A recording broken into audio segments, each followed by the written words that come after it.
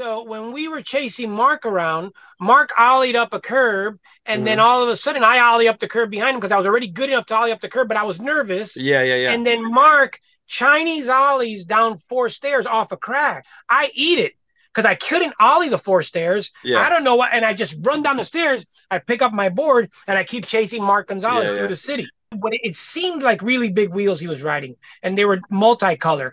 And Yeah. he just like ollied up this curb and just went dunk down four stairs. And I was like, "What is this?" But but that's the skating, like the like that was street skating, right? Yeah. Like it, it tells you yeah, yeah, what you yeah. have to work with, Right, right, and then right. you create with the material you have. That was Yeah. that Mondo trip.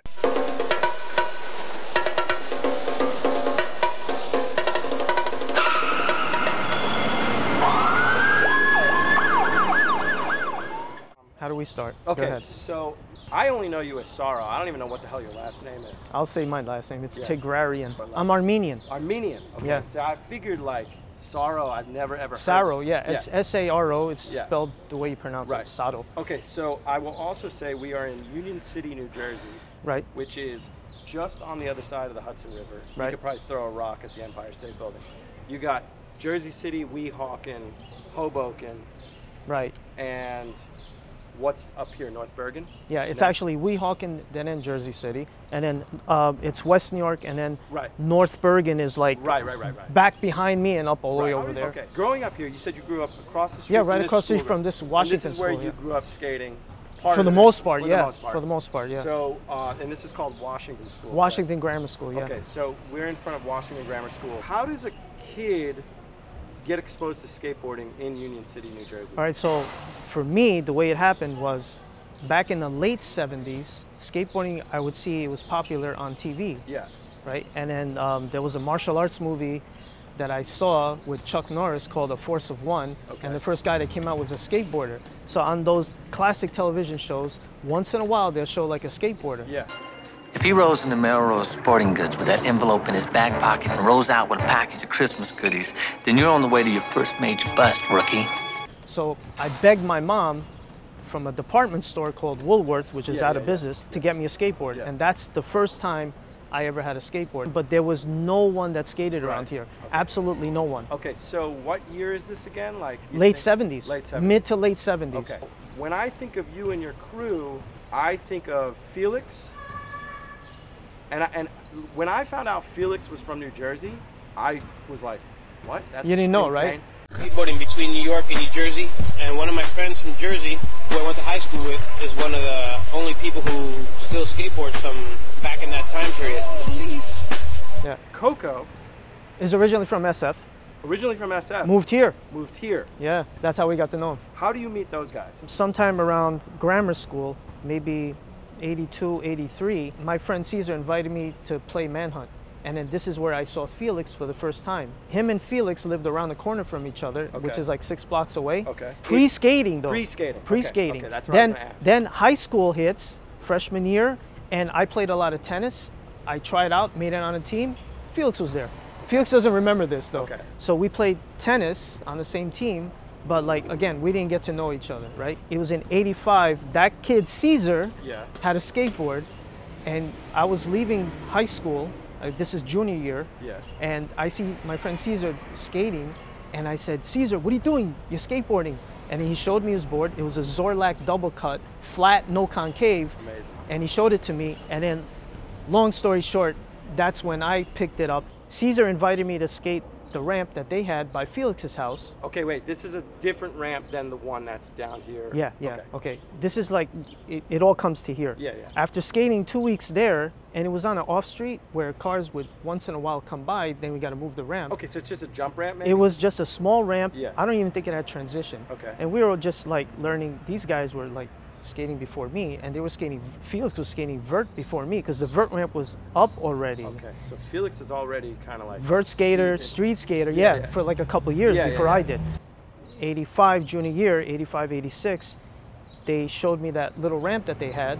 After skating there for two weeks, and then once in a while a car gets through, I told my friend Caesar, and Felix was there too, and other guys, other skaters. I said, bring this ramp here to Washington School. And then that's how this whole started. Yeah, Yeah, yeah. from like a good five years. Yeah, yeah. This is your main spot. Main spot. Yeah. You don't get kicked out, and it was like The uh, ramp you- lives in here. It stays in here overnight. No, we couldn't leave it Yeah, in here. We did that Yeah, yeah. because then the janitors would come yeah, and trash yeah, it. Yeah, got you. So next to my property, I have an alleyway. So we used to store Sure. all the ramps inside my alleyway and actually Full build- chin. Put yeah. them on the boards. Bring them over. Yeah, and then actually build it in front of my house Yeah, yeah. because I take out an extension cord, yeah, right? yeah, yeah. Build the jump ramp and then skate it here. So we built jump ramps, wall ramps, So and rail sliders. This place becomes a hot spot. Yeah. 85 to And now 90. you're skating here with Felix, but Coco's not here yet. Coco eventually came in like 86.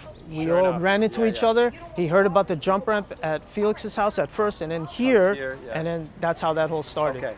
So much went down here, you have no idea. Yeah, no, I know. I, I, mean, I can only imagine. The same thing with the banks and all the Yeah, yeah, contests yeah. and and then we would get together. It was like it was literally like a family. We would get together and just go from like spot to spot to skate and then we'd meet up at an ESA contest and skate. That's how that's what we did. These guys put me on Dogtown, right? And after Dogtown I had a stack of Dogtown boards. Wait, wait, hold on. Who's these guys? Bruno, Rod, Jeremy. How do they put you on Dogtown when Dogtown is Red Dog and Okay, so that started because Jeremy Henderson was skating for Dogtown without a pro model. When Bruno and Rod started Shut, they were considering turning someone pro, and they said, let's turn Jeremy pro. right? So this is the way Bruno is um, explaining it to me. Yeah. They turned Jeremy pro. Jeremy tells Jim Muir, I'm not going to skate for you guys anymore. Well, Jim Muir said, well, find somebody for us. You're you're you're Jeremy's replacement. hold on, hold on. I was the first guy. Yeah. So the way Bruno explained it to me back then, and I want to thank Bruno, Sure. Rod, and Jeremy for this. I was the street guy.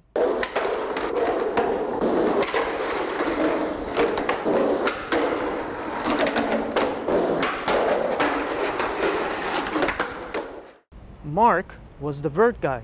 You know who Mark is? Wait. Mark Podgorski. That Mark was the vert guy, and I was the street guy in '89. Yeah. Right? Because Dogtown is heavy in '89 too.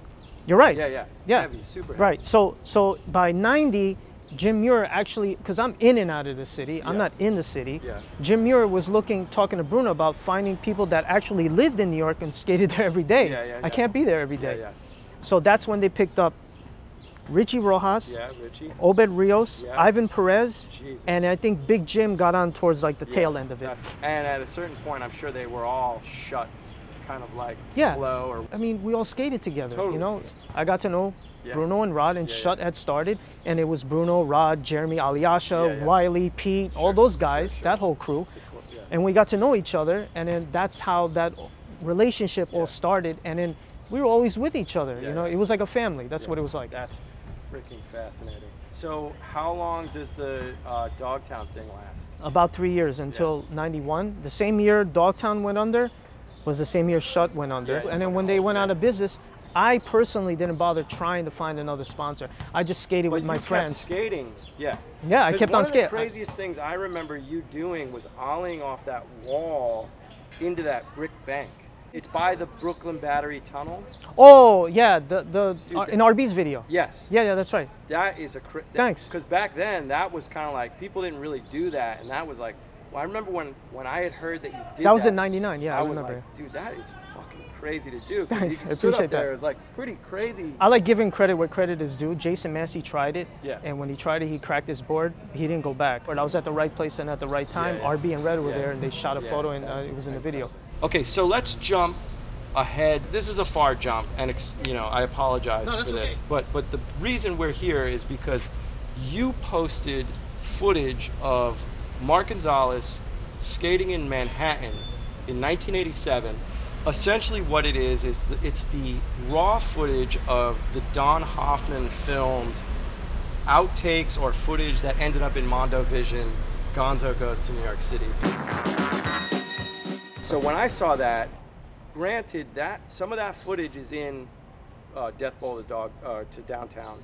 Wait for the doorman to go in, run up and start doing whatever. And then Gonz came and visited Jeremy Henderson, you know, and Gonz was like, I can grind this. And everyone was like, no, you can't. One more time. One more time and I'll make it. They have that. They got some of that footage from Don Hoffman, But what you were posting They didn't have. is more stuff that they didn't have.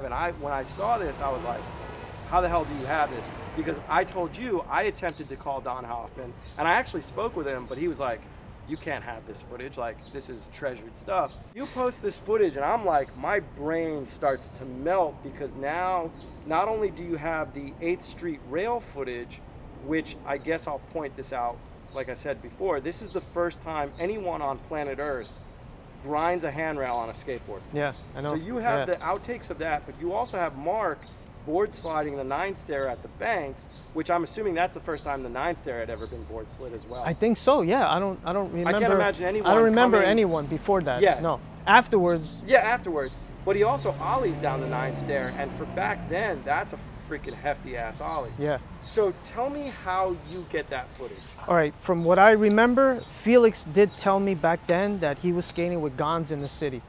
Okay. Okay, so he skated like 23rd Street banks. Yeah. And then uh, someone shot a photo of Felix doing a uh, frontside rock and roll at the 23rd Street banks. Remember the Yeah. banks with the Yeah, highway course. divider? Yeah, yeah. yeah. Okay, so so s- this is what I remember, and then he said something otherwise because you were asking me on Instagram, and Felix, how did it happen? I thought I got it back then because Felix got a copy of it back then, but then Felix said something otherwise. He said Okay. that when he was living with Mark and Jason, Yeah. That's when he got it. Then maybe I got it after that. Okay. So uh, when he was living with Mark and Jason, could have been like 88 or 89, because Yeah. Felix moved out of here to Florida around 88, Okay. and then he would periodically visit. Yeah. And then he was traveling around because after he left Shut, he got on World Industries. Yeah.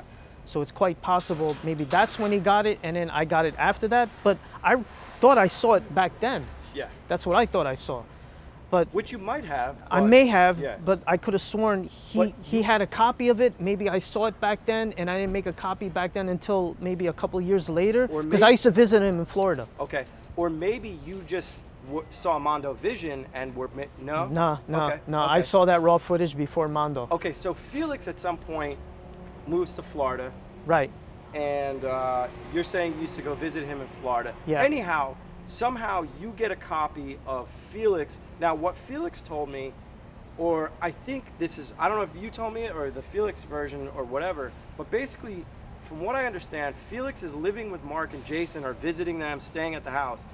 I had heard that Mark has a car and Jason and Felix didn't have a car and Mark went out somewhere with his car and Felix threw a tape in and dubbed the tape, brought it back to Jersey. Somehow you get it and you dub it, and that's how this thing exists. That I don't know. That Okay. California story, I have no now- idea. now, how do you end up staying at Mark Gonzales's house in Huntington Beach?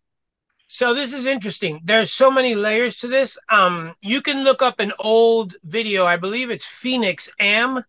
Um, Phoenix Am was kind of like our Am finals, Yeah. and like go, going into the Am finals, I was like ranked number one, so there was like a little buzz on me. Okay. And uh, I go out to Phoenix. Mike's out to Phoenix a week early because the next week is a pro contest.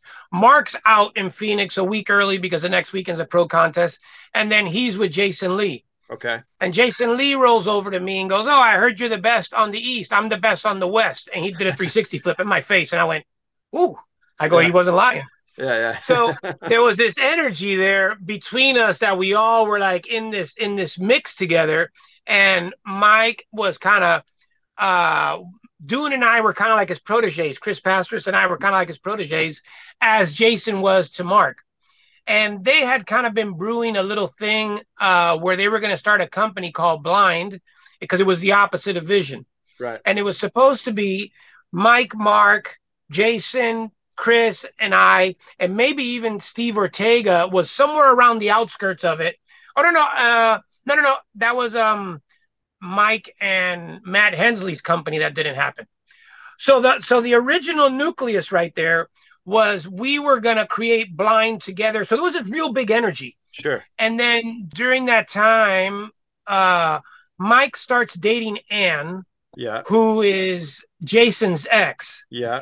So first easy stay for me in California was going to be with Mike, but because Mike was staying with Ann and that whole thing was a little weird to be the guy who always wants to go skate and he wanted to smooch a bit, I was kind of like, uh, it was easier for me to stay with the other homies. Yeah, yeah, yeah. So I move over to Mark's house. He has an empty room, which is his brother Frank, I believe, if I remember correctly. I'm so old now, bro. I just turned 54. And that's like, God, I don't even know how many years ago. That's like, I can't do the math. Like 30 something years ago? I don't know. I, would you say you're at Mark's and Jason's in Huntington in 88, 89, or is it? Yeah, it, it was 88, 89 because my AM finals was 89. The end of 88, 89, I believe, if I'm correct. I, I have to go to my mom's house and look at trophies. So I'm staying in Frank's room, and Mark has all these VHS tapes in the living room. And Mark has stuff to do. He's pro, he's an adult, although he's just basically my age. But I'm immature because I don't have anything to do but skate. Yeah, And then Jason was just starting to get things busy, and Jason lives there most of his life in the area. So Yeah. Jason has stuff to do. So oftentimes I'd be sitting at the house, like going through all the videos, and then there's just piles of videos. So as I'm going through other videos, I pop into one video, and it has the ticker tape, yeah, which I guess basically it was Mark's tape to be like yes, no, yes, no. Which now I understand that. Sure. But back then, I, I'm just like, ah, this thing's messing up my view yeah, but I'm watching all the stuff. And then the funny thing is, depending on which tape you have, the first, this is going to sound crazy. And when you speak to old people, we usually sound crazy because it is crazy. The first Poley is me in Washington Square Park on the bent pole, and it's in that footage. And they filmed it, and I got to watch it, but it was never going to be used for anything because I never rode for anything. So all my stuff on the Jersey barrier, all that stuff just died, it, or it's dead somewhere on some tapes. But somehow that Poley was on that tape. So I go into Jason's room and I borrow his VCR, I wire the whole thing, and I just dub the tape. wow. And then I don't know how much more I dubbed, but I just basically wanted to get my Poley and I just let it run. And then that was the tape that then later came home with me. I'm just curious now. Do you remember uh, bringing the tape back to Jersey and handing it to Saro and him being like, No, no, I, I, I- I don't think he even taped it when I lived in Jersey. I think he taped it when he came to visit me in California, "Oh, okay. or he may have taped it when he came to visit me in Miami. It was one of the two. I'm, you know what? I'm almost sure it was in Miami. Saro dubbed that at my house in Miami when he came down to visit. Do you remember dubbing the tape from Felix? Yes, I do. Okay. How did you do that?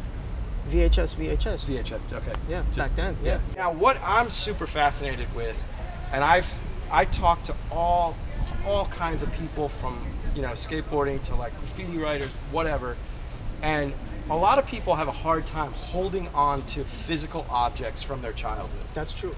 But how do you end up hanging on to a VHS dub of this footage? It Are you a hoarder?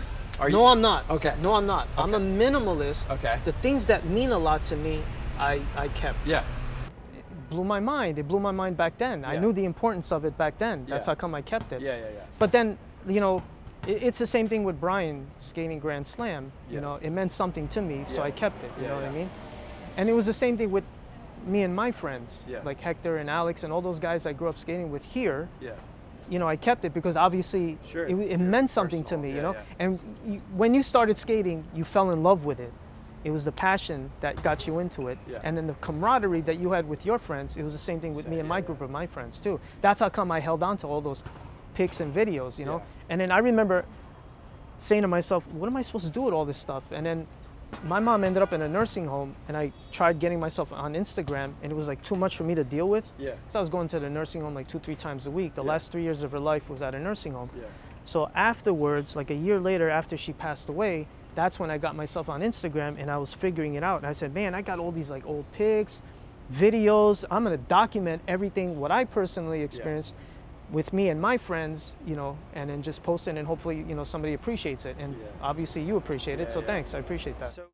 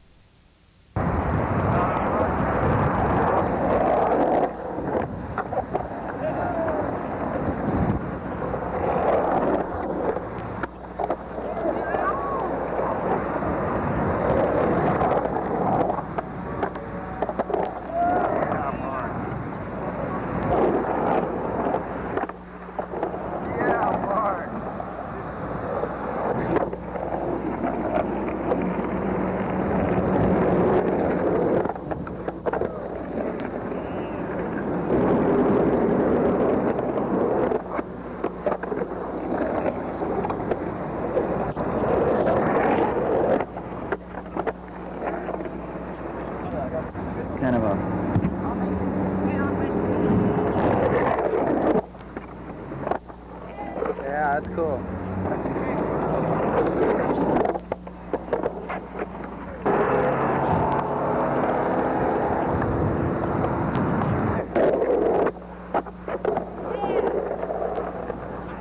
Keep it on this area here. Is he coming in?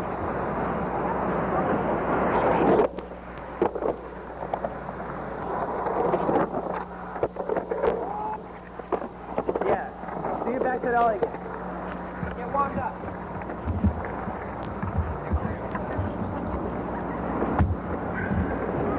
Is this better? Yeah.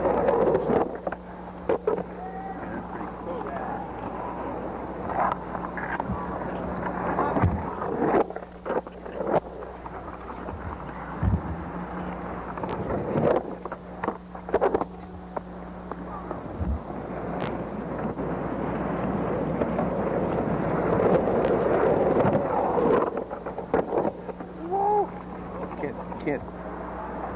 Just speak Bluefoot. Hard. Bluefoot.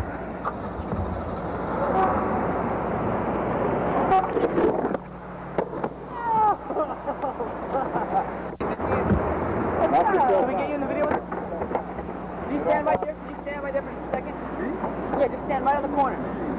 Just for a second. Just smile on the camera. Hang out, you know. Just want to get him flying over. Let's go. Just, you know, just hang out. He's gonna have to step back. Where's he going? gonna fly right. Just relax. You won't even touch it.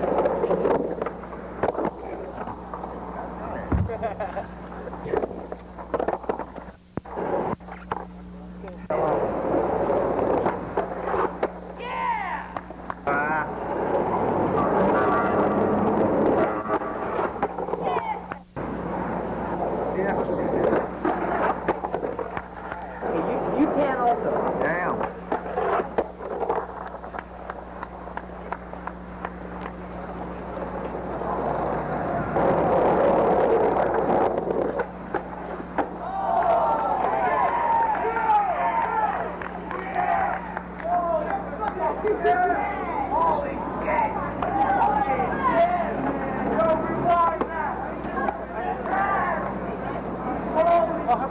I think you made your. That side, Mark. That side. Wherever you're most comfortable, all right? So I can get the damn shot. Yeah, go.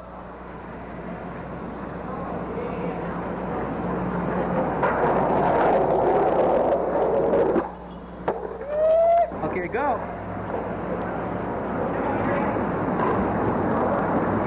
Go.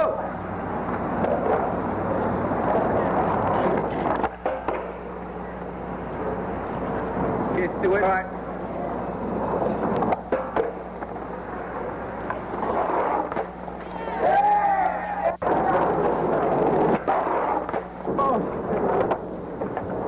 Stay there. Keep keep. Oh yeah, Ollie here. Whoa! Okay, okay. Wait, you do it, let me Ollie through. Oh, let me. Wait a second.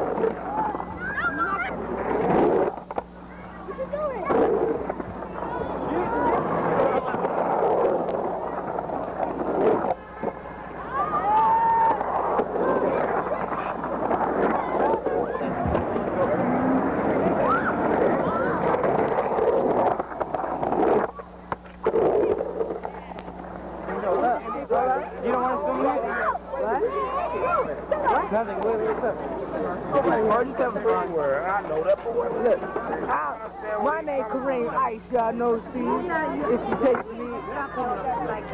I know. What you want to do. You gonna have to film me too.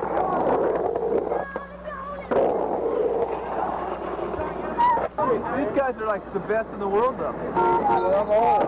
Nah, man, I'm a They got some shit out there in L.A. They got, they got some shit, man, steeper than this, man. Can't even fuck with it. Oh, these, these bakes are red, huh? You like it, a lot of man. You like it.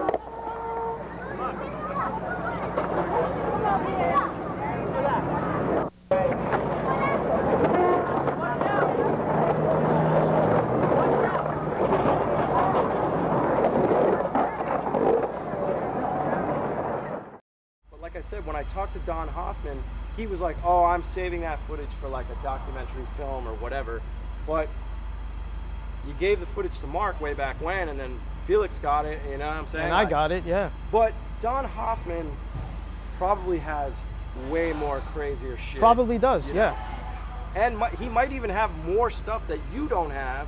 I'm sure he does. You know, like from those sessions because Mark was here for like, I mean, I've heard stories. I heard that Jeremy filmed a lot of it because Don just didn't have the technical skill to be on You mean stage. Jeremy Henderson? Jeremy Henderson. I didn't know that. Yeah. In fact, I want to say Jeremy might have even told me that. Or maybe it was a conversation between Jeremy and Eli that I had heard. Don and I, and I had the beta camera. He was afraid to go out of the car because the camera was 60 or 60 or 80 grams, so he was like terrified to go anywhere in New York with it. And I'm like, fuck it.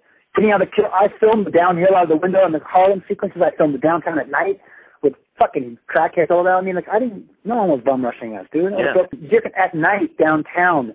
I shot lines. I told Mark, ollie up the three, do the round banked pyramid, ollie over the hip of the pyramid, go back on, ollie down the three, and with the bus stop, that big steep wall angle that used to drop into the bus stop, Sure, that's yeah. row.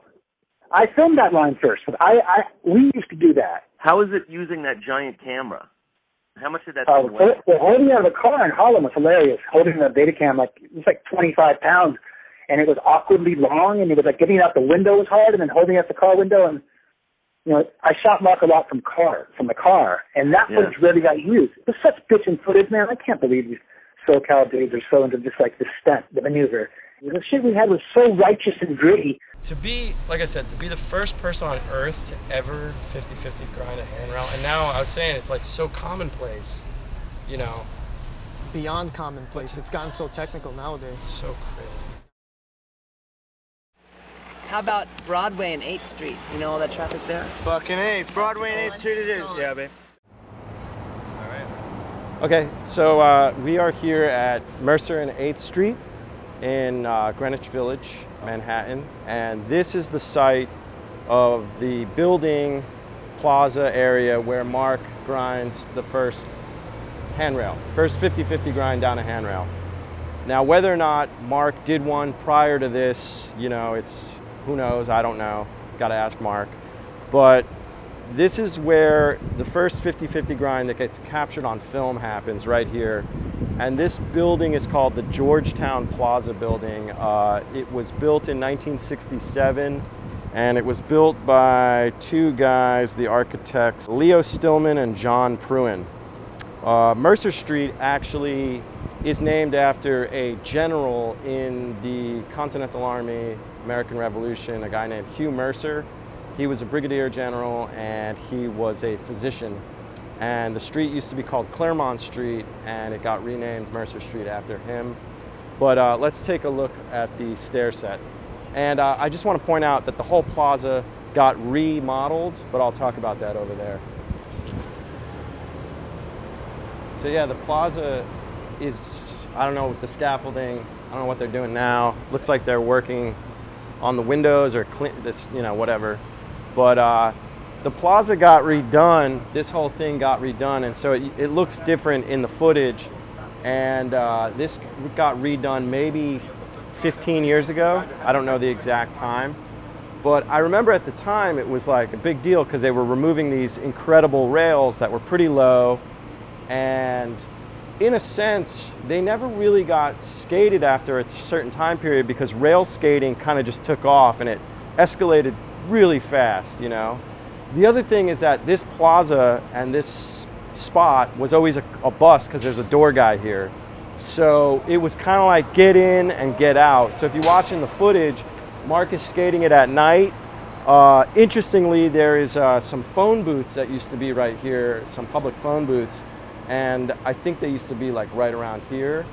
And uh, in the footage, I'm pretty certain it's Don Hoffman filming, and you could see Jeremy Henderson and some guy, some random guy on a bike. He looks like a bike messenger or something.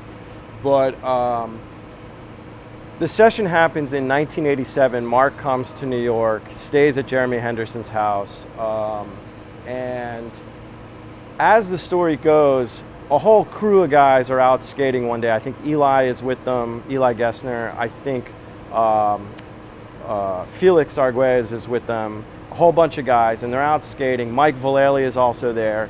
And Mike Vallely tells this story, Vallely, sorry.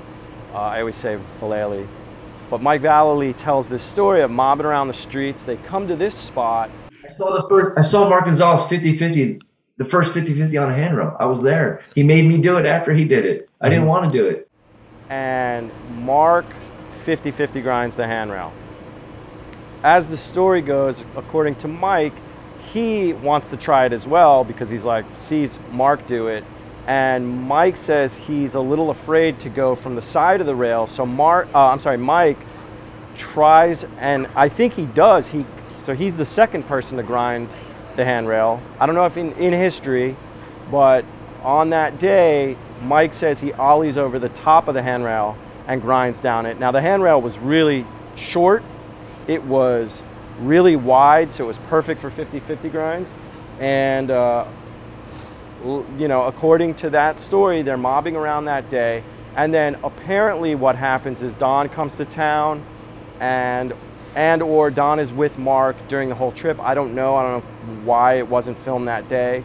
Probably because there wasn't a filmer there. I don't think Don was mobbing around the streets with that crew of people. But basically, they come back at night with the camera and this is where Mark films the 50-50 grind. He also front boards it. So that was basically right here.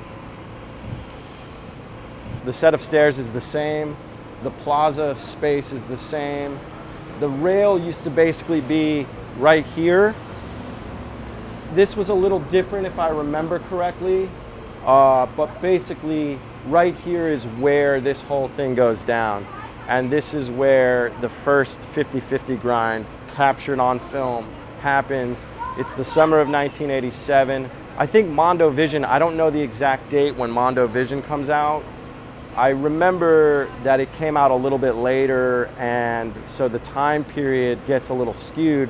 And I think basically what happens is that people are seeing grinds on handrails come out because the footage is staggered but obviously Mark does it in the summer of 87. He also then goes down to the banks and board slides the nine stair in 1987, which is unprecedented. It's much bigger rails than anybody's doing at the time. And that Banks rail, even today, even the original Banks rail that's there, was no like, it's, no, it's nothing to like really play around with, even though kids do play around on nine stair handrails at this point. But it, it's, it was a tall rail. It was like a pretty, you know, decent um, board slide. Even, even going into the 90s, it was like something that was, you know, a considerable uh, rail to, to do tricks down. But Mark board slides that. But this right here is where the first 50-50 grind happens in New York City, in Greenwich Village, on 8th Street and Mercer in the Georgetown Plaza buildings uh, uh, area, uh, whatever, stair set. So that's it. Cool. This is my, my high school Oh, wow. notebook. Going for the guns, gonna get him. Maybe Rocco, maybe Grigley, or maybe Johnny Cop. What the fuck, man? I don't know. I was a kid back That's then. That's amazing. Yeah, you filmed this. Going for the guns. Sick. That's amazing. We used to call ourselves the New Jersey Skate Corps. Yeah. High school notebook. That's back in dope. 85, 86. That's insane that you still have this. Yeah. Open my eyes and start your gun. Put those on the shelf. Put those on the shelf.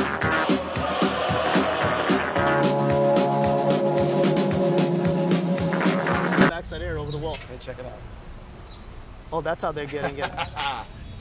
so anyhow, oh, yeah, anyhow, blah blah blah.